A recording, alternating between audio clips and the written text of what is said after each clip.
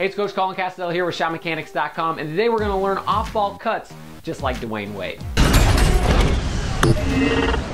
All right, so there's really three different cuts that Dwyane Wade uses that I want to talk about today. So let's start with the most simple, and that's the off-ball cut. Now, D Wade is an absolute master at reading the defense and then timing his off-ball cut at the optimal moment. What makes an off-ball cut so great is it's a super easy way to rack up extra points. So it all begins with reading your defender, most specifically their head. The most perfect time to off-ball cut is when your defender loses sight of you. Many times this happens as they're watching what's going on with the ball and forget to pay attention to you. So then just time your cut to when your defender is fully turned away from you. Most of the time, they're not even gonna know that you're cutting and you're gonna get an easy lane to the basket. All right, here's another clip.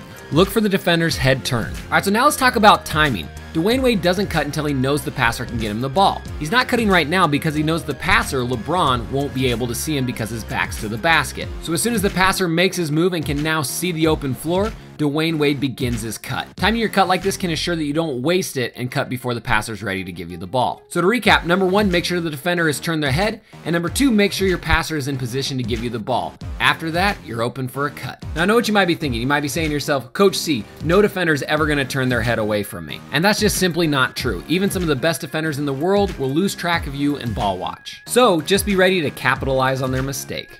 All right, so the next cut that I love in Dwyane Wade's arsenal is the back cut. This is generally where you're getting a screen from a teammate, and then instead of curling over the top of the screen, you decide to cut back door. This works best if your defender's trying to cheat over the screen before it actually comes. So the keys to this cut are all in the setup. As your teammate's coming to set a pick, you're going to plant hard on your top foot. This will make your defender jump to fight over the top of the screen. As soon as he commits, that's when you explode off of your planted foot going back door. And to finish it off, take the quickest route to the basket. Try to take your cut in a straight line and don't banana cut or arc to the basket. Setting up a perfect backdoor cut is a great way to get a few super easy points and keep your defender honest throughout the entire game. Think about it, if you can just get two backdoor cuts a game, that's four points you can add to your scoring average right out of the gate.